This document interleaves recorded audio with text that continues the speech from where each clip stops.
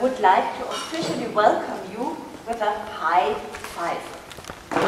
For those who I have had not the chance to meet, my name is Monika Roth and I'm head of press and PR at Rohde & Schwarz.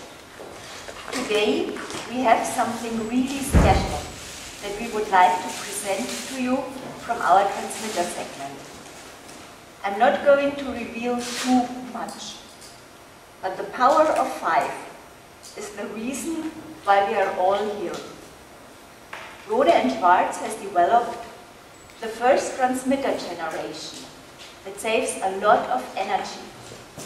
It doesn't need much space, and we will see it later on more in detail, has an easy to use display, comes with a great service and is a really smart investment.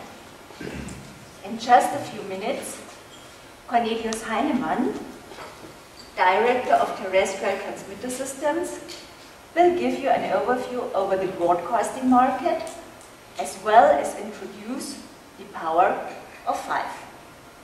Later, Axel Menke, Product Manager for Terrestrial Transmitter System, will present you our newest transmitter.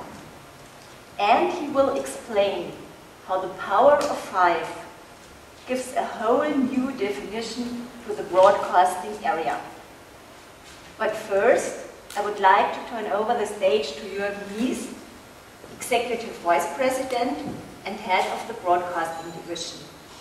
Mr. Nies will provide you with a Rohde & Schwarz company overview and he will discuss our growth strategy and the newest developments from Rohde & Schwarz in the broadcasting area. So, without any more introductions, Mr. Nies. Monika, thank you very much for the very nice introductions this morning. Good morning, everybody. Hope you're doing well. After last night, we, we have not too, too exhausting to you and you had, a good sleep.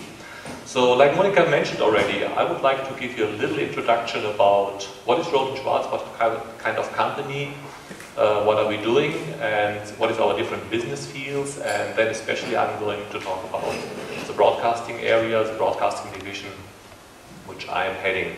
So if you see Rohde & Schwarz as a company, like the, the name shows already, Rohde & Schwarz more than 75 years ago was being founded by two persons, Dr. Rohde, Dr. Schwarz, and uh, still today Rohde & Schwarz is a privately owned company. So we are still completely uh, in the hand uh, being owned by the two families, the family Rohde and all the, the family behind and the family Schwarz. And uh, we are located in Munich in Germany, so where is our headquarters, and even where our main development center is being located with about two and, a, two and a half thousand people, and most of them is engineering. So we are a real engineering company. Um, we are we are being presented in more than 70 countries worldwide today, and our export share is even much higher than 80%. And where 60 of those representations is Rohde & Schwarz subsidiaries. And why that? We see it very important that we are very close to our customers, to the markets, that we in a very early stage understand what is the requirement the market is going to, that we have direct communication channel to our customers, and even, of course, after supplying products, services, then our customers can directly talk to us, have a direct channel, and in case of a research requirement that we can react directly, we that we have a direct link to our customer. That, that's one of the important points to us, since we are seeking for business which has a long-term perspective, not for the short shot, but really for the long-term perspective. And uh, I'm very happy today that I'm able to announce here on, on uh, this press conference the first time the results from our last fiscal year. So our fiscal year is from June to July the next year, and the figures, what you are seeing here, is for us a really record.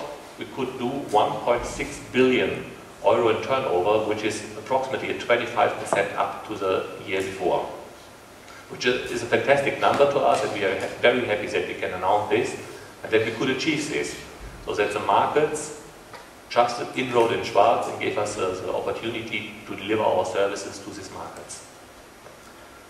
I uh, talked already about our worldwide presence And uh, this means, of course, that not only we are being um, in Germany with uh, a lot of stuff, but we are worldwide being represented with our stuff. 8,400 people working in the Rohde & Schwarz development, manufacturing, sales, and of course service, like I mentioned before. So this is the total Rohde & Schwarz family worldwide.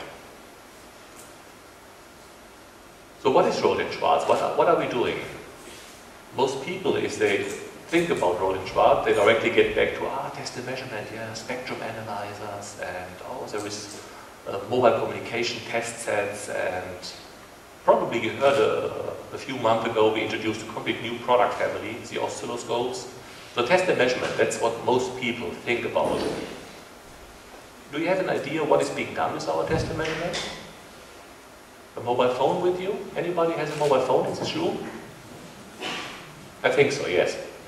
So you, now you can count. Every second mobile worldwide is being either developed and or manufactured with a Rohde & Schwarz equipment. So you see, we have a, a very, very nice uh, standing in this industry. So the mobile phone industry and mobile network operators very much rely on Rohde and Schwarz technology for forwarding new technologies into the consumer market. Another area what we are doing is secure communication. That means any kind of line of, line of sight communication. This could be, of course, in uh, governmental uses, in military uses, Army, Navy, but as well, well as air traffic control, ATC. I think most of you flew into Amsterdam Airport. I, I, I heard one or the other one uh, took the car, yes. so, but most of you came into Amsterdam Airport and communication, the airport communication on Amsterdam Airport is being done via Rohde & Schwarz communication equipment. So the air traffic control uses for data and voice communication Rohde & Schwarz equipment. And this is one of the approximately 200 major airports worldwide, which is relying on Rohde & Schwarz communication equipment for the direct communication ground to air. Another area, radio location and radio monitoring. So we are not only providing electromagnetic waves, communication on wireless, but we have even the possibility to locate and monitor this kind of communication which is on the air. And once again, of course, this is governmental use, regulatory bodies which uh, requires this. There is, of course, um, Army and Navy using this kind of equipment.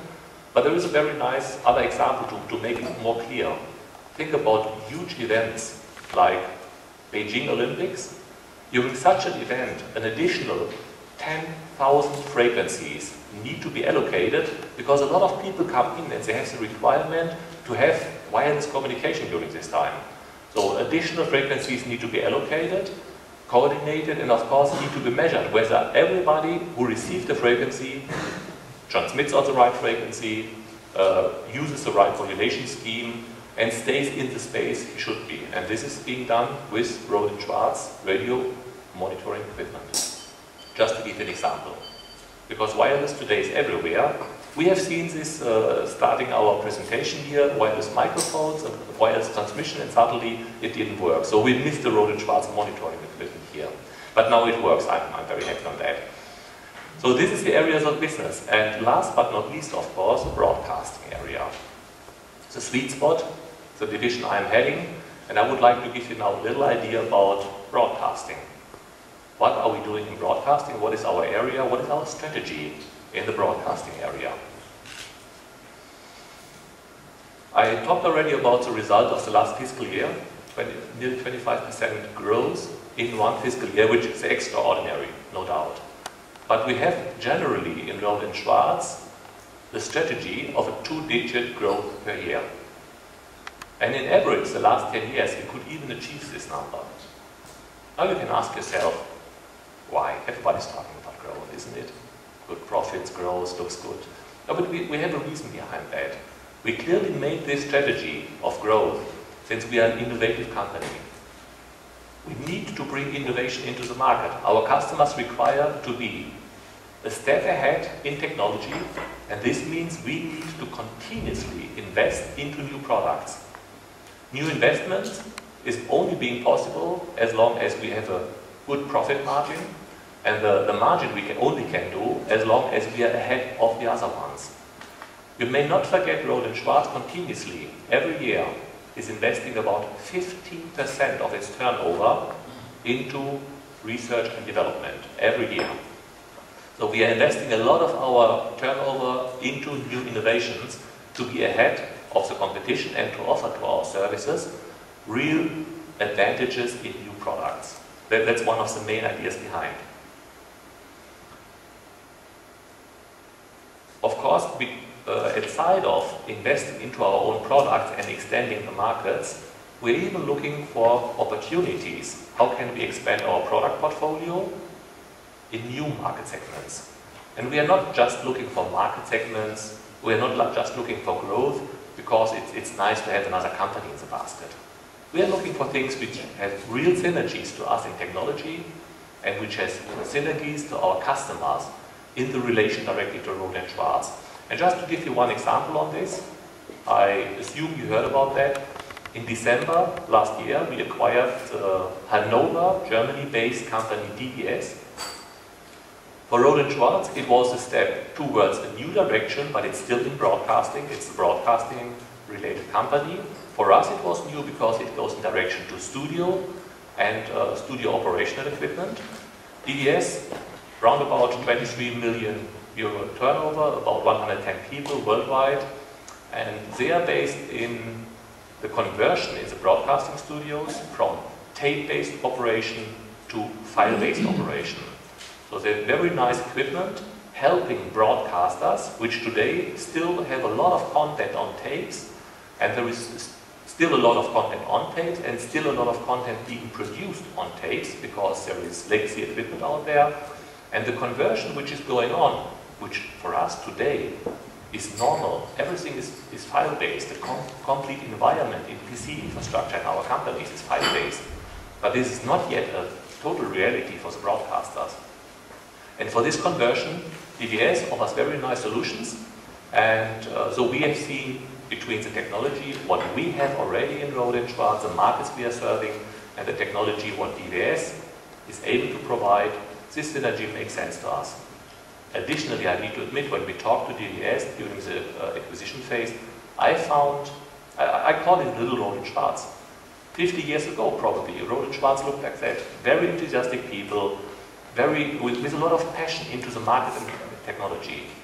And this really gave us the idea of let's acquire this company and together, of course it's the same people, we didn't change the management, we don't uh, change the, the stuff. We would like to move more Uh, into the market in the broadcasting studio area. Let me get to a second point which broadcasting division is serving, consumer electronics.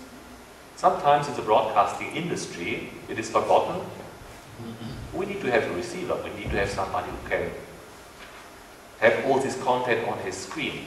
So the consumer electronics industries, and, and now you name it, it's the, Sonys, the Panasonics, Samsungs, Pace of this world. Those companies which provide the consumer market with television sets, set-top boxes to be able to receive the TV signal. Those companies have the main requirement of time to market and the ability to have to, uh, to bring products to market which can serve more than one standard. If you look from the network operator side, they have just their standard in their country and that's it. The consumer electronics market, they need to be able to provide set-top boxes which can do whatever standard is being required. And once again, time to market is very, very important to them. So we provide the, this industry with a complete range of products which enables them in a very early stage to go into new technologies like DVB-T2, ISDB-T, even on the ATSC. We have been very early with our test and measurement, and it gives them a complete range of products they require from very comprehensive measurement facilities like an SFU, which is a flagship, which gives every possibility to develop and research such a, a device, up to smaller devices, which is being required later on in a workbench, in a manufacturing, or where just a little bit of software is being written for such a consumer device. So we have a complete range of products here, And I, I talked already about this uh, multi-standard capabilities, and our test equipment is not being fixed to one standard, it gives a complete range. Whatever standard worldwide is being required is in this equipment or can later be optionally added to existing equipment at the customer's desk. One example we are showing here on the exhibition first time from this SFX family, SFU, SFE, this new SFC, a very small, let's call it low budget instrument, which completes the, the, the complete set of test and measurement being required at such a development facility. I talked about the SFU, very comprehensive, flagship, but maybe you have a workbench where people have a ready-made product and they just want to do some changes on software, on user interface, but of course they need a signal. So we provide the complete range and the SFC is one example for that. So we'll see it on the exhibition. Please come to our booth, have a look at this unit, which is a new family of the SFX family, a newest baby within the SFX family. And it is, in our um, opinion, the best um, price-performance ratio you can today find for modulators, test modulators on the market.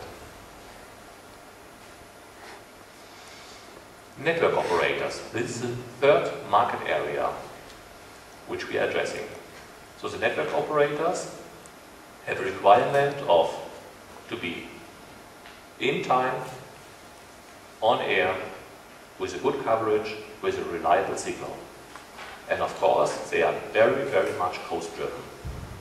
So on, on one side, they would like to have reliability for their network to be on air, to continuously 24-7 transmit their signal. On the other side, the pressure on the network operators is huge to cost, uh, to cost saving, to drive down their operational cost. And that's something we have in mind with all the equipment we are manufacturing, we are developing, to help our customers to go in that direction, to drive down the operational cost in their network. And so what we are offering for these network operators is a complete line of products, transmitters, later on we come to the highlight of the day, but as well test and measurement being required to set up those networks. So if a new rollout of uh, broadcast transmitters is being done, you require to install this, you need to measure and to bring all this equipment on air. So we have the right equipment for that, for example, ETL. And during operation, of course, you would like to monitor if the operation is fine or if you see there is a degradation in signal anywhere and you can do preventive maintenance, not to let it come to a shortcut or a, a switch off of signal transmitters. So we are providing a complete range of products here, transmitters, test and measurement for installation, service and maintenance, and the complete monitoring range. And like I mentioned already, our main focus is to provide products which are most cost efficient to our customers. This is the main focus. So what we are having is equipment which increases customer benefit or drives down, like I mentioned already before, the operational costs, the OPEX for our customers. Of course, we're still trying to extend our regional presence. That's, that's the second point on the markets, what we are doing. But this goes along, we know this, with the innovation of our products.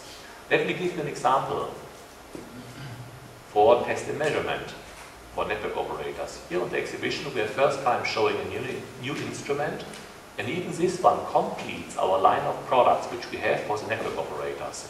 So we have the very comprehensive flagship module which is the ETL and which is used anywhere, everywhere over the world for measuring and maintaining networks. But of course we know there is requirements for smaller, lightweight, battery-operated equipment.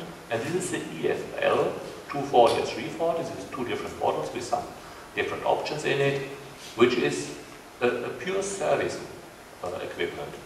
You need to uh, keep in mind such a television station can be on a mountain, very difficult to reach, very far out, and of course the less equipment and the more lightweight uh, weight the equipment is that a service technician needs to carry around, the better it is.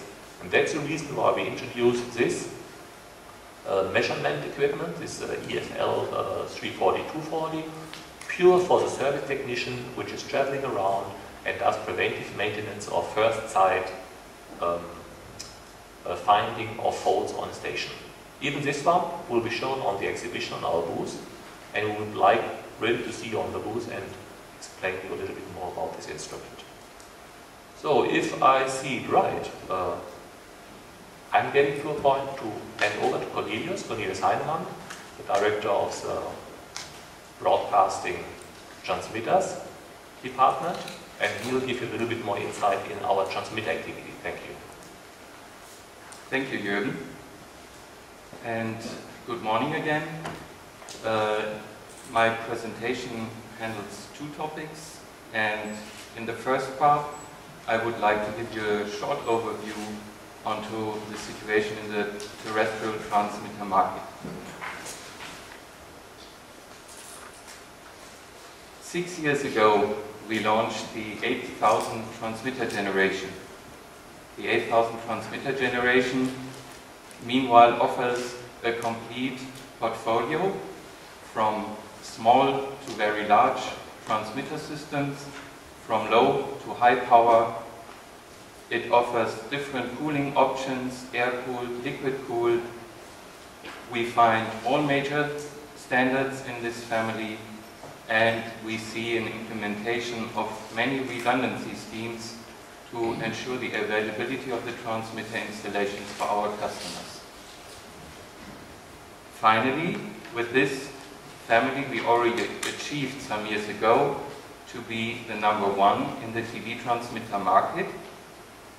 And in my next slide, I'd like to illustrate this position. This, the slide shows our estimate of the market share in order income over the last 12 months. The TV transmitter market is a very competitive market. There are many, many players. We have the big four, everyone knows, which are present in every region. And then we have many, many small companies offering either a certain product segment, like low power, or which are present in only one region. And I simply can say it is a big success for us that we achieved in the last fiscal year, over the last 12 months, this impressive number of a market share of 28%.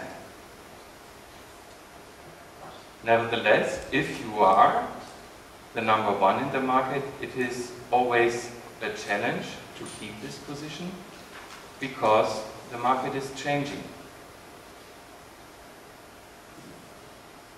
In my slide, you find on the left side um, our order income as a relative uh, diagram, uh, what is the share for every region. And on the right side, it's the updated figure for the last fiscal year. What can we learn out of this comparison? We see a very stable business share in Africa. We see a strengthened business in Asia Pacific, which recovered from the financial crisis. But mainly, it shows for us two big successes. If you look to the left, try to find the slice for Central and South America, which is very, very small. And then on the right, you see that it grew to a considerable slice of the cake. And this shows to me that our strategy for this region is working, which is mainly two parts. One is that we implemented the regional standards and we strengthened our local presence in service and sales. And the other message is, and for me that was a little, little bit surprising, that Europe got a bigger share in our order income. Surprising because we thought, okay, at least West, Western and Central Europe is mostly digital already, So what, what could drive the business in Europe to get an even higher share? Yeah, and the answer was quite easy. There was a big wave with DVB-T2. And we were very happy that we could get a great share of this business.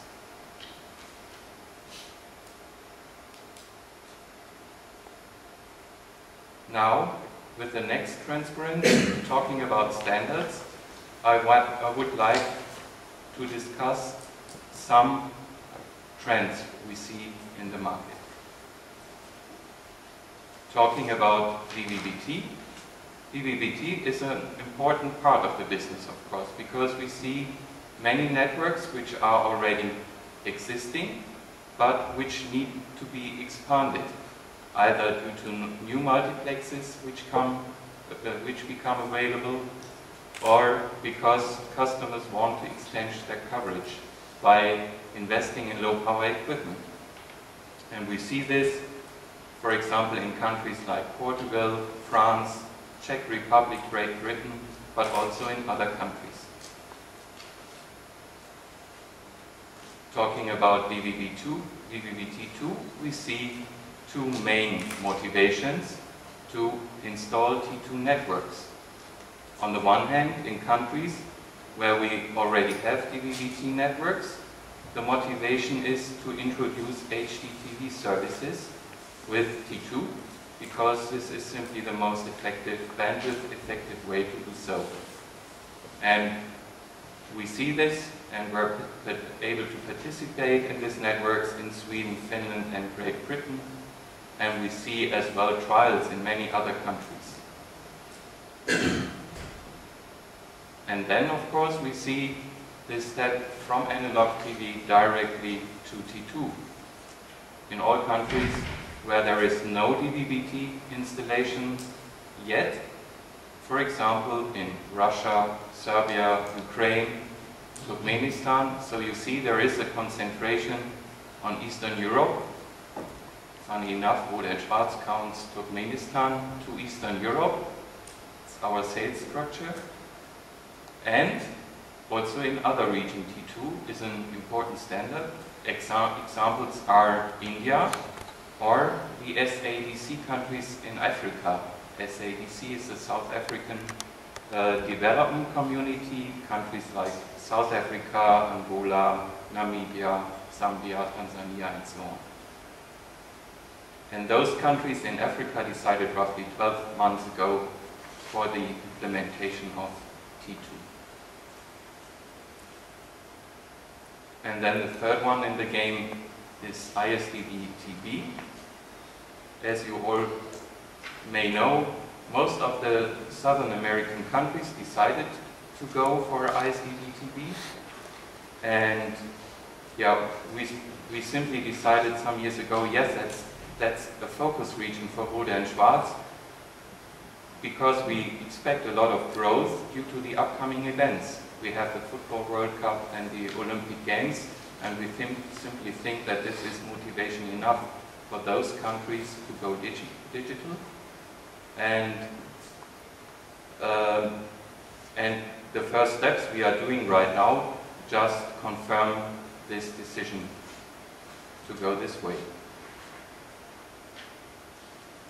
Yeah. And now, I'd like to turn over to the second part of my presentation. And yes, as number one in the market, of course, we continuously develop new products and introduce them in the market. Nevertheless, for me, it's really a special moment now.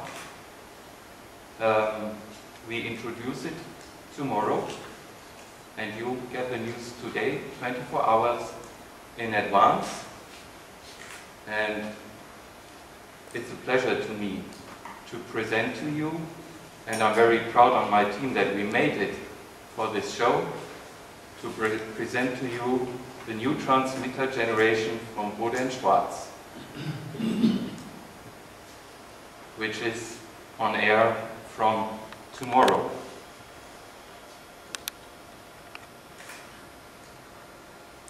With the new transmitter generation,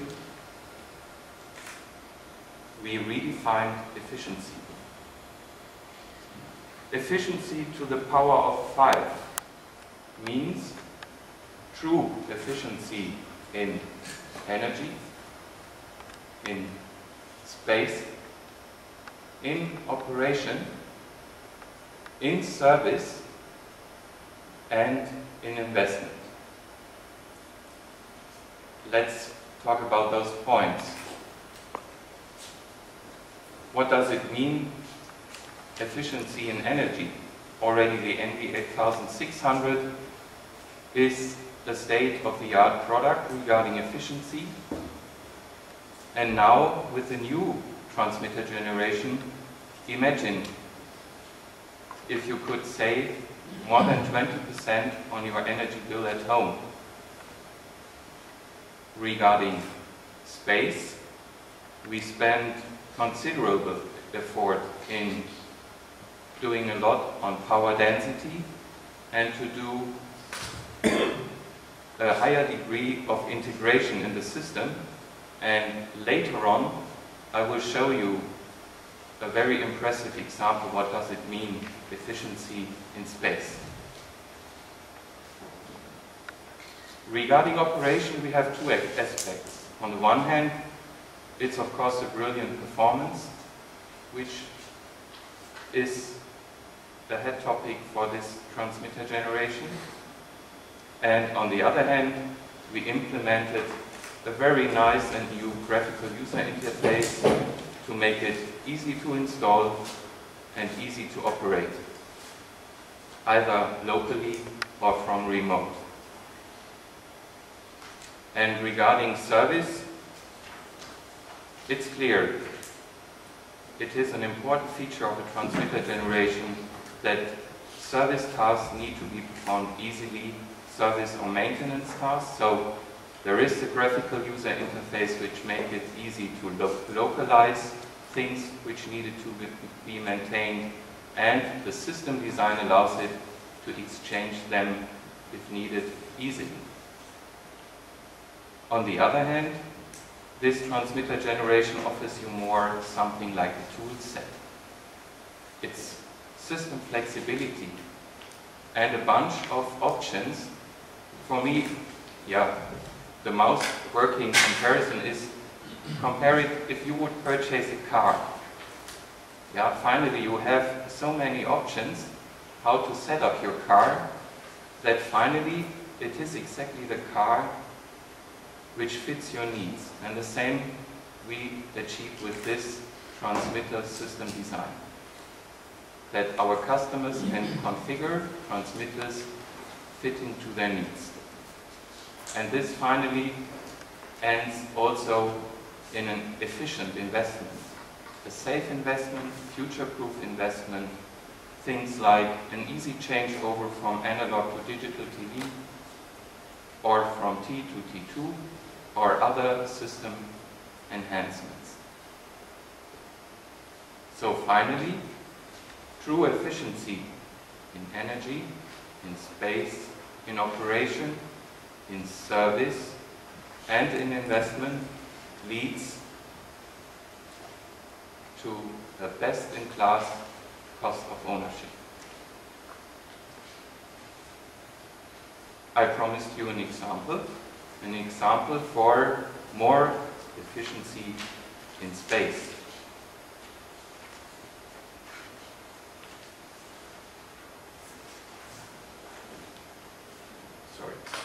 More efficiency in space at the example of a 2 plus 1 redundancy system. What is a 2 plus 1 redundancy system? A very transmitter specific thing, of course.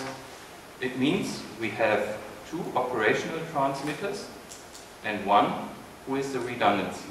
If we see a 5 kilowatt installation means we have for each transmitter, each single transmitter one rack. So for a 2 plus 1 this means three racks. Now imagine you could cut space by 60%. the THU9 can. It offers a 2 plus 1 redundancy system in a 3-in-1 rack solution. Now, I'm, I'm sure you are hungry to hear more about the new THU9 transmitter generation. And this is the point where I like to hand over to Axel Menke, who is the product manager for this new transmitter generation. Thank you. Yes. Thank you, Cornelius. Um, before I step into the details and main benefits of this new transmitter family, the THU9, um, I would like to give you an impression and an idea um, how the system is built up. So you can see here the transmitter rack, and we have up to 12 amplifiers in uh, one rack. So a lot of power inside. Um, above this amplifier block we have the transmitter and operation unit. I will explain later in detail.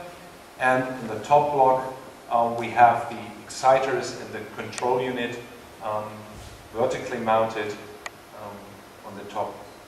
And in the back of the rack, I can show you much better here,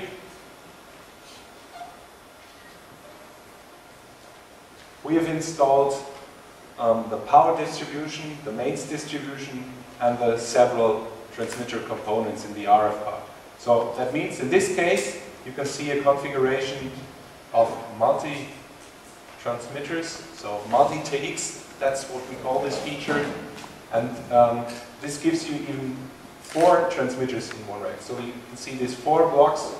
That means each transmitter has three amplifiers, its own power distribution, its own power combiner, and its own RF part going out. So that means up to 75% of saving in space.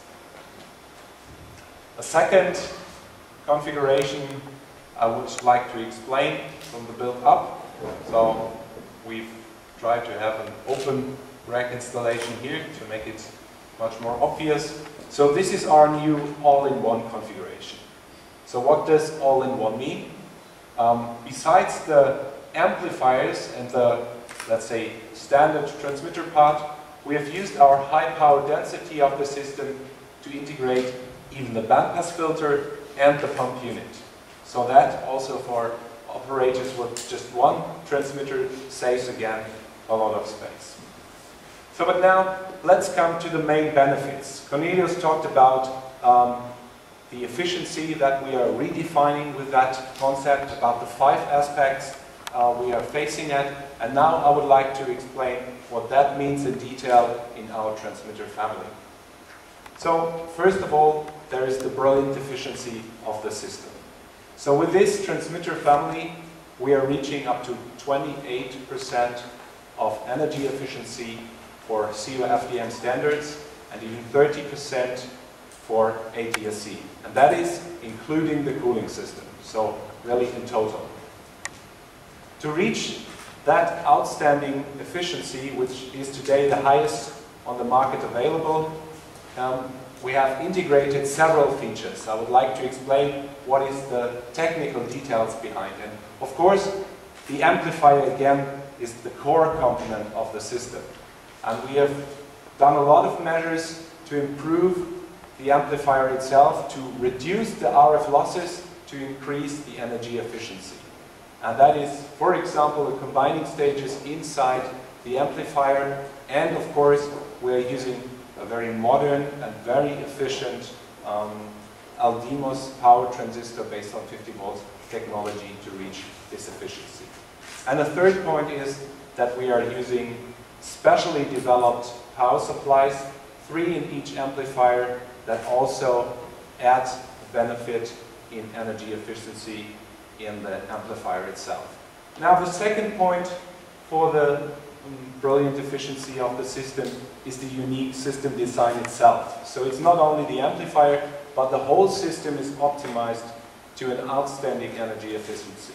And what you can see on this, um, this picture here is the back of the transmitter rack. Um, you can see it later on if you want. um, directly, so you can have a hands-on. So the back here is showing the harmonics filter. Um, that has been also improved with a reduced RF loss and power combiner um, that also has innovative technology inside to reduce the RF losses in the system. That gives a big benefit. So, as I said, um, it's not only the transmitter itself that um, adds benefit to the efficiency. Um, one component that is often really forgotten in that calculation is the cooling system. And uh, we see the cooling system also as a central point of innovation and of improvements. So just a few examples what we've done. For example, our pump unit that is uh, built up with two pump modules in active reserve. The pump speed of these modules is always set to the system configuration. So if you just have four amplifiers inside, you need um, less liquid flow and therefore we set it down to also uh, save energy. Uh, another point is the heat exchanger you can see here. So this uh, component that is placed outside to bring away the heat to um, the air. Um, this one is using specially modern um, fans based on electronically commutation technology. That's, uh, that's an invention made by uh, Papst, a, world leader in fan technology. And um, this means that you have a significant um, reduction of energy costs and uh, energy consumptions by using these fans. And these fans are speed controlled. That again means during the day when it's hot, they are running a bit faster. During the night when it's cold, they can reduce the speed and that again reduces the energy consumption of the system. And that means in total, to sum it up, if you have a brilliant efficiency in the system, you will need uh, less energy for the transmitter network and that saves you a lot of money during the whole lifetime um, by saving the energy. So a second uh, very important benefit is the scalability and the flexibility of the system concept of the THU9 transmitter family. So if you have a look at the last years for the transmitter network operators, that um, was a lot of change in, in um, the business. So there was the analog to digital conversion, for example, or there have been implemented several new standards like DVB-T2. And that means the network operators have to adapt their network to the needs uh, that came up. And of course, network operators have the need to be um, future-proof, to have a safe investment. And we have several features in our system that uh, lead in that direction. First of all, again, this is the multi-TX concept. Multiple transmitters in one rack. So this feature gives you the ability to be open for the future, to have a um, easy expansion later on if you like to, and so this really makes it a safe investment. So that is again the back of the transmitter with the um, RF outputs, so very compact integration. This multi-TX concept um, leads us to the TCE 900. So what does TCE 900 mean? That stands for Transmitter Control Exciter. So this is a common platform for um, the control unit and for the exciter with the modulator part in it um, in the transmitter. So here it is covered, um, but here you can see a bit more on the picture. So we vertically mounted devices inside the rack with all the connections to the roof that makes it easy um, to exchange and easy to install. And up to seven TCE 900 find their place in the transmitter rack. And as I said, this is a common platform, so we are using just one base unit for control unit and exciter, and the customer can, however he likes, change the configuration. So as he has a base unit, he just takes out one board from, from the one device and puts it into another device. That gives really a flexibility on site, less spare part requirements, and um, yeah, a very modular uh, approach. So when we um, step into the TCE 900 configuration as an exciter, there are as well several features that stand for this flexibility. Um, this, first of all, is um, the software concept for the transmission standards. So it is easily possible to switch from one transmission standard to another. So as this is just software based. And even if you um, like to be prepared and say, um, today I'm doing DVB-T, but perhaps tomorrow T2, um, you can prepare this and it makes it easy to switch afterwards um, with the transmitter family. Um, a second point is the easy analog to digital conversion.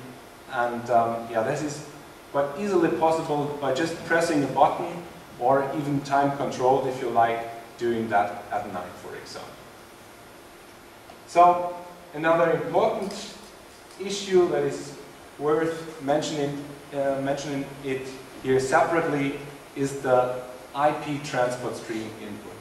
Um, as it is our experience, the IP protocol is getting more and more important, and that's also the case for the broadcast network operators. And so we are offering now in our exciters, additionally to the standard ASI inputs, two redundant gigabit Ethernet inputs for the feed of the transport stream signal. So again, that's a really future-proof solution if you're just now having an ASI network, no matter what comes, if you later have a IP distribution network, it's open to migrate to this. So that means, in total, with that transmitter concept, the customer, whatever he needs, um, he is open for the future and he has a real toolbox to create the configuration he needs for his network. So the third main benefit is the compact design of the transmitter family with a lot of different facets and aspects. Um, first of all, the most important point, of course, is the exceptionally high density of power inside our transmitter family. Um, that means that one of these amplifiers offers an output power for, of uh, 1.35 um, kilowatt for COFDM standards, and that in total gives us a power density of up to 15 kilowatt for COFDM standards, um, up to 18.5 kilowatts for ATSC, and even 30 kilowatt for analog television. So this, I think, is the uh, highest output power density that is available on the market for solid-state transmitters today. As this, of course, is a key fact that brings us to the new two concepts I explained at the beginning, and that is, first of all, the multiple transmitter concept, multi-TX. So, as we have this high power density, it is possible to have up to four transmitters in one rack, uh, and that then saves up to 75% um, of the floor space. So, um, the second thing that is connected to this saving in space is the all-in-one system, as with an integration of the bandpass filter and the pump unit, you um, really can save space as well with a single transmitter. And last but not least, the liquid cooling system itself is very compact as well. We have the integrated pump solution, of course, but we have also uh, external ones, and these external pump unit and the heat exchanger are a very compact design. That, of course, um, is connected to the high power efficiency of the transmitter. As we um, do not need to bring out so much heat uh, to, to, convert it to the air, uh, we need less space for the heat exchangers, and of course that gives us uh, an advance in the compactness of the whole system.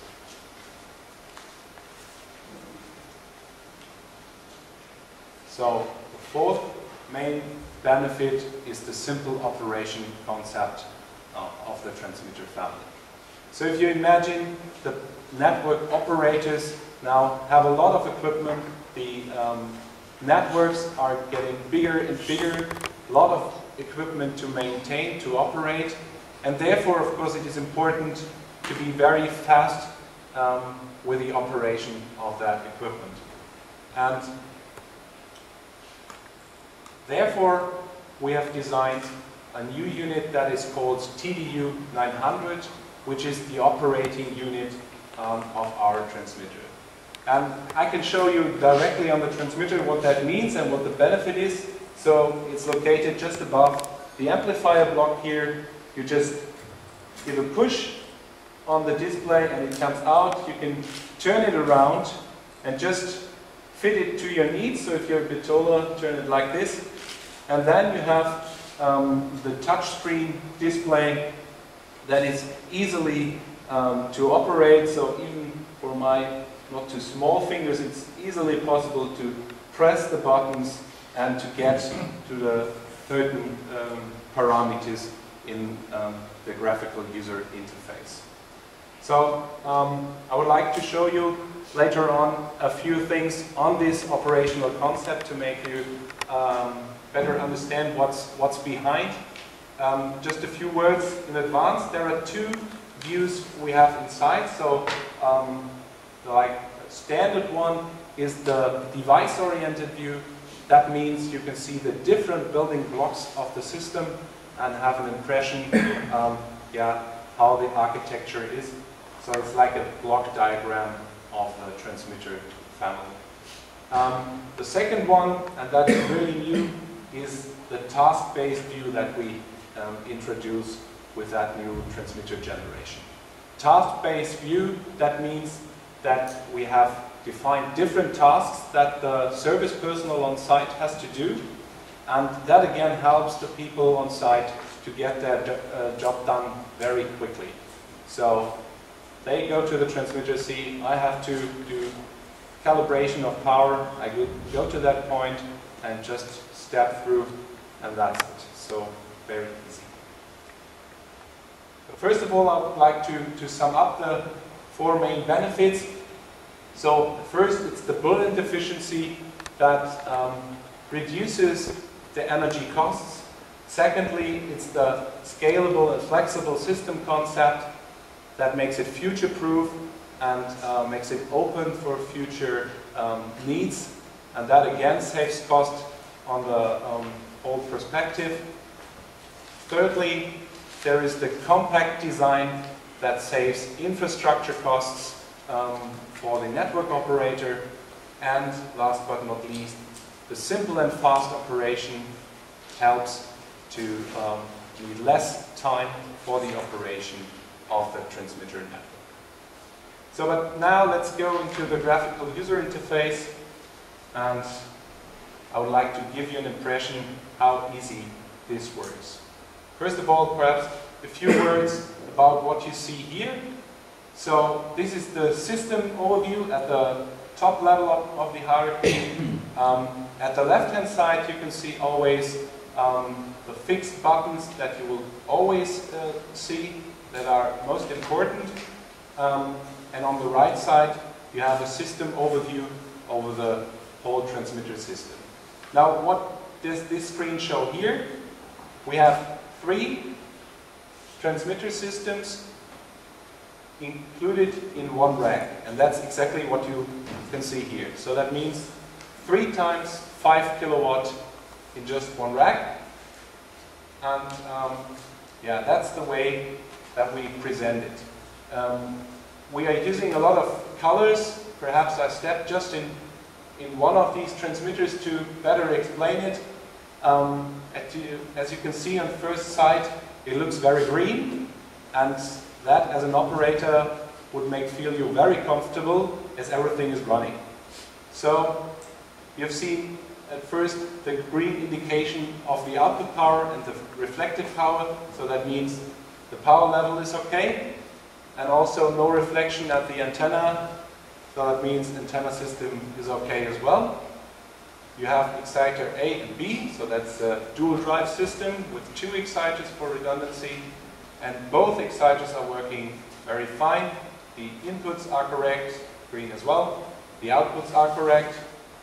The switching stage is working properly, and also the output uh, stage with the amplifiers and the cooling has no problem. So very easy, nothing to do. That gives me an additional time to show you a bit more. And um, let's go, for example, into um, the output stage. There I have the possibility um, to go into the cooling, into the amplifiers, and into the rack operation. I would now take the example of the cooling system here. Um, and this just gives an overview over the cooling system for your transmission. So you can see that this is a closed circuit. There is the pump unit here with the two pump modules. It is delivering the cold, so indicated in blue, the cold li liquid to the transmitter. Then the liquid goes through the four amplifiers and then it's brought out to the heat exchanger. Now it's heating up, so that is indicated in red here. In the heat exchanger, we have two fans installed and again we see everything's green, everything's working fine. So the colors you don't see and hopefully will not see uh, as an operator are yellow for a warning and red would be for a fault. So like a traffic light indication. Another thing you can see here at the bottom, what is very helpful is um, the hierarchical steps in the system are displayed in, in this bar here. So that means um, I'm in the cooling view now and I would like to go back to my transmitter overview. It's just one click ahead. That means I just press the button transmitter and I'm back again. So very easy, very intuitive and as the buttons are big enough, um, that's very easy as well. By the way, the whole graphical user interface that you can see here um, on the display unit is just the same in the web interface. So there is no change. It's easy if you are familiar with a display unit here. It's the same at the web browser. Okay, so that's, I think, enough about the device view. Let's come then to the task view. So you can see we have two buttons here. First one is the device view we had here, and now it's possible to go in the task view. So we have just one active um, task here, this is, this is a simulation, and I, I, would like to show you how it works um, at this ex example here. So this is, again, the, the calibration of the power. So I just step into this power calibration task, and I get an overview what is to do.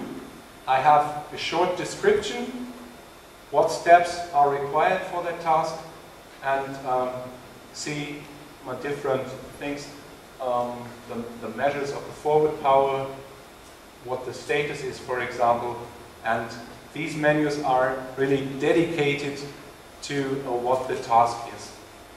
So if I don't know exactly and I need additional information, we've also integrated the help function, and that is not also available for the task view, but also for the device view, and that is based on our um, contents of the manual. If I activate this help function, you see on this identify button there a question mark occurs suddenly. And this indicates underneath this button we have a help function. And when I press that button then, I get the dedicated help for that. So that tells me how to find um, my measuring coupler and uh, how to understand what's going on. So I think this is a very intuitive concept um, for the service people on site that helps for um, installation, for commissioning, for the operation itself, for maintenance, and for service. Okay, so that was the presentation of the GUI, and thank you from my side. Thank you, Axel. Thank you, gentlemen, for explaining what the newly defined Give Me Thrive from Rohde and Schwarz is all about. Now it's your turn. Please feel free to ask as many questions as you like. Microphones are available. Don't be shy.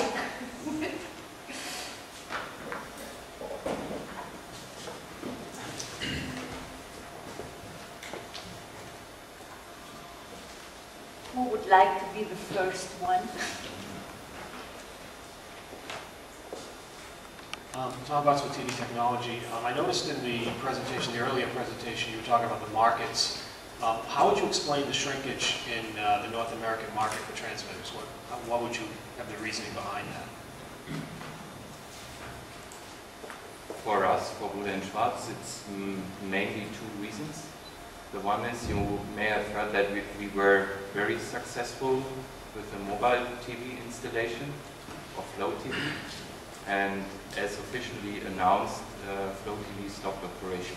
So for us, this means a big difference, of course. And uh, currently also we, we discussed yesterday that you are as well involved in the mobile DTV uh, topics and yeah, it doesn't take off like we would wish it would take off. So that's the reason why we see this market as currently quite weak. So you're saying the mobile DTV market in the U.S. has not taken off like you expected? Yeah. And maybe if I can add this, the, the, uh, the broadcasting transmitter market in the US is very weak. It's a decreasing market the last years.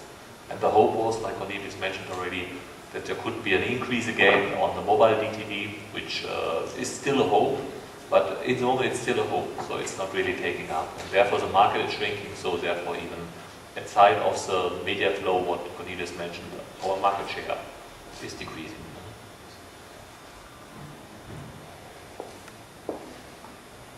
Uh, Mark Hallinger, TV Technology Europe and TV Technology Asia.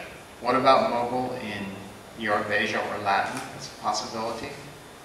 And also, has anyone, any broadcaster, discussed 3D with you over terrestrial in anything beyond very general terms? Uh, on one side, mobile, everybody's still talking about mobile TV. And um, I need to admit, as a reality today, mobile TV did not take off. As far as I know, we have only two installations worldwide, which is in Japan and Korea, where mobile TV today is on air, you can receive it.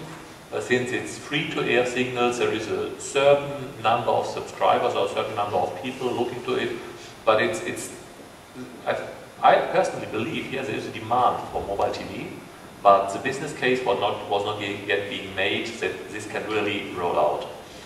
Um, get me the second one again. Anybody talking about 3D Yeah. beyond just general? Uh, yeah, we have one network which we just recently uh, implemented in um, Italy, and this network is uh, planning to offer a 3D service, as far as I know. I need to admit we, we are not really involved in, into this area since uh, the transmitter, the pure transmission path, is totally transparent, whether it's SD, HD, 3D, or whatever kind of content. And therefore we are not directly involved. But, but the, the question is absolutely right. There is not a lot of talks now which gets to us about 3D. And even we are very curious, will this take off? It's a broadcasting area. But it's a question mark. Yesterday with some of the colleagues we discussed it and we came to no conclusion.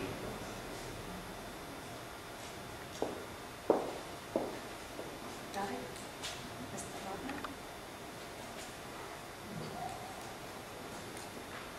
Wagner, FKT.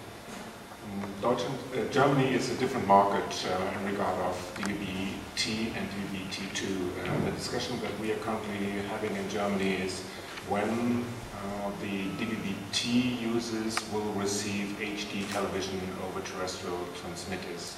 So um, can you tell us something about the negotiation that's currently going on between you and the publics, the PBS and when we will have the opportunity to receive HD TV terrestrial. So, Mr. Wagner, uh, I have the same question as a consumer. I would like at home to get HDTV via terrestrial as well, uh, because sometimes I feel a little bit bad that I additionally have satellite reception where we do terrestrial. Um, uh, but I can't talk about these negotiations. But let, put, put it in the way what is, what is public, everybody's interested, but it looks like the regulatory environment is very difficult, which is in Germany, you know, ARD, alle liegen durcheinander. Um, it, it's a little bit difficult, so the environment we do have, and therefore we know there is talks, and what gets to us is there is a, an interest, there is first trials being implemented in the, in the north with NDR, as far as I know, Bayerische Rundfunk is planning things. We know that Media Broadcast is, is looking into that. Um, so there is some interest, absolutely, but uh, we cannot talk about things uh, we are doing in detail, and uh, I need to admit we don't have real detailed information when it will start. But, but the interest is the same on my side, like everybody would like to see in HD. Um, I have to add something to what you told currently, because I do have an internal paper that tells uh, that um, the uh, PBS in Germany is going to transmit HD television on the 1st of May, starting on the 1st of May next year. That means actually to me as a consumer as well as as a journalist that there has to be some transmitter sites transmitting at least HD TV over DVB-T2. So, uh, I mean, you are involved in it and there must be an answer. And maybe the answer is that of course we are in contact with public broadcasters in Germany and they currently class classify equipment from different manufacturers. Mm -hmm. But I cannot state here that we already got tender material to answer.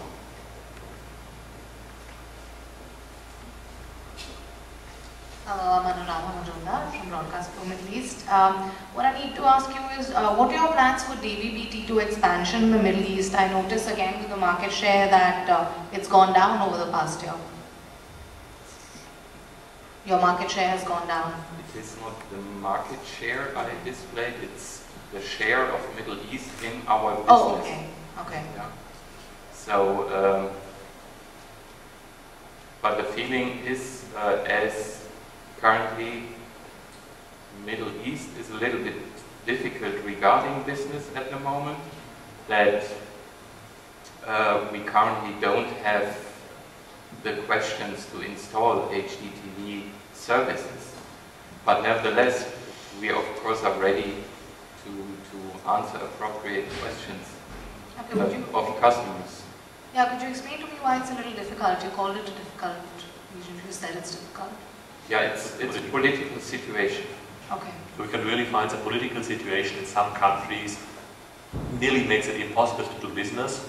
Uh, not for us, uh, as well as for the network operators, they are busy with other things. And we just see a decrease in projects in the region. Okay, all right. Thank Yes. you.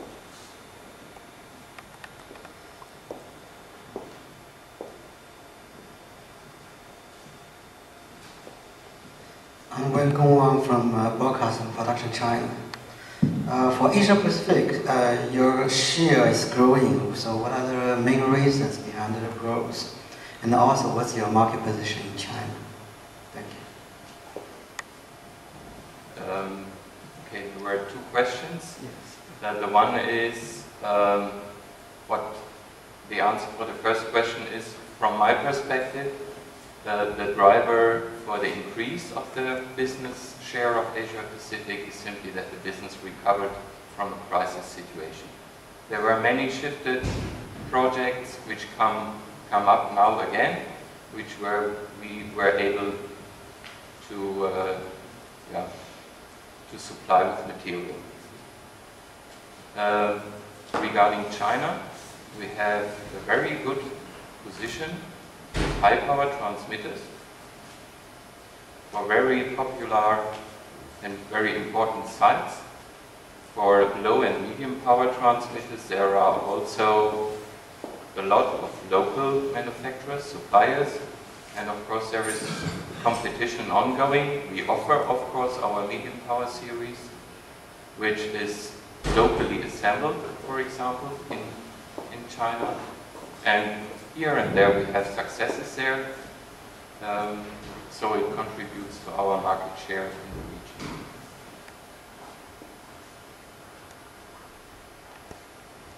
Did it answer your question?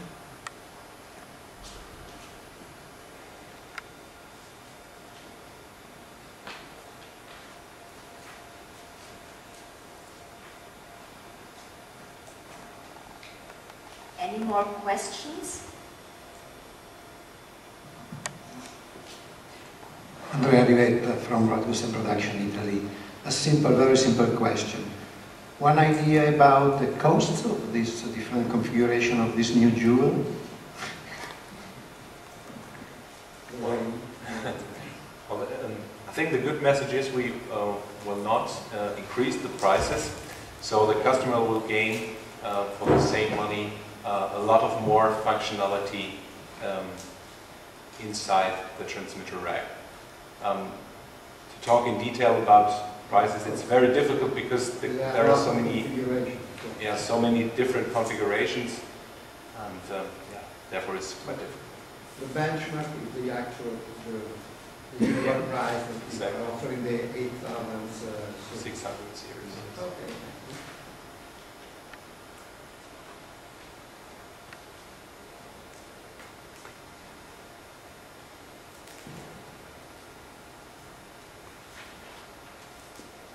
Anything else you would like to know? So, if there are no more questions, I would like to invite you for a lunch buffet. Please feel free also to use this time to familiarize yourself with the new transmitter and chat with our specialists. So I only have to say thank you very much for joining us yesterday and today, and it was a really great pleasure to us. Thank you.